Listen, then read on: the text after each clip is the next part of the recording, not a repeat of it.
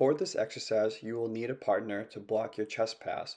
Start in a supine hook lying position with a medicine ball on your chest. From here, you will rapidly extend your elbows and throw the ball as forcefully as you can. From here, your partner will block the momentum and pass the ball back down to you, in which you will perform continuous repetition.